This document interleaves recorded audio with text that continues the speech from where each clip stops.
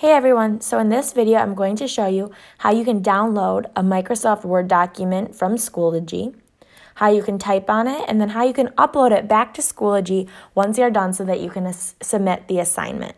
So the first thing we're going to do is we're going to click on Schoology. We're going to click on the course that has the assignment. So just for today for practice, I'm going to do the student contact form that's in English. So it's in my English course, so I'm going to click on English. And then I'm going to click the folder that it's in. So I'm going to click on the Getting to Know Each Other folder. And then here's the student and family contact form. So I'm going to click on that. Now you'll notice at first nothing's here. That's because you have to click these blue letters that say View Attachments. Then you'll see the file that was attached, the student contact form. So then I can click that. And now look, I can't type. That's because we're still on Schoology. We can only type once it's in Microsoft Word. So we have to click the arrow that's up in the top right corner. And then we're going to find Microsoft Word. I don't see it on mine, so I have to click the More button. And now I'm going to see where it says Copy to Word with the blue Word icon with the white W. So I'm going to click Copy to Word. And again, I still, I here's my mouse, but I still can't type. So I, I have to click Save a Copy first. And now if you, if you still can't save, you can just click OneDrive, and then that will prevent it um, from doing that. You'll be able to save. And then you can just give it a name. So you can usually just keep it the same name that it was already given, and then click Save.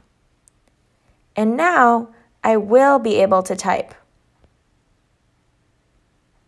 I just, oops.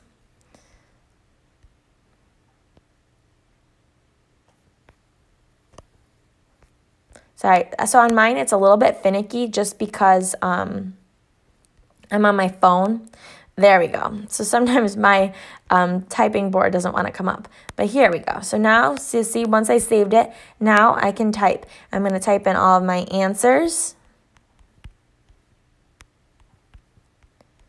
And then pretend I did all of these. Once I'm done, I'm going to come up here and I could either click on this little button, this arrow,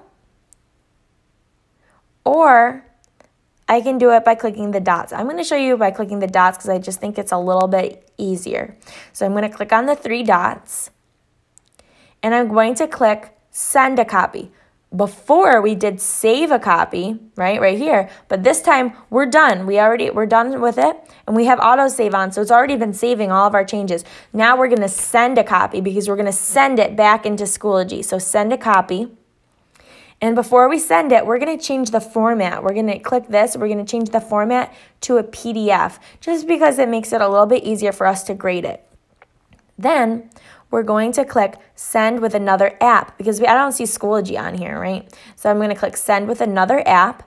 And now I'm going to find Schoology. I don't see Schoology on mine, so I'm going to click the three dots for more.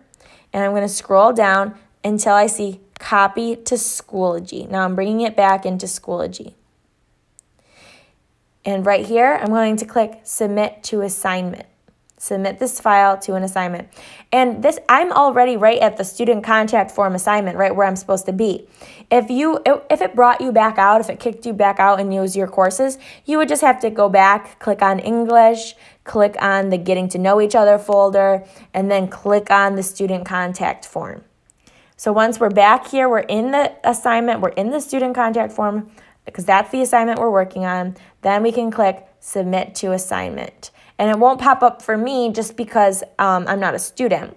But once you click that, you'll see a button where you can click submit and then we will have it and you'll be all done. So I hope this video was helpful. As always, let me know if you have any questions.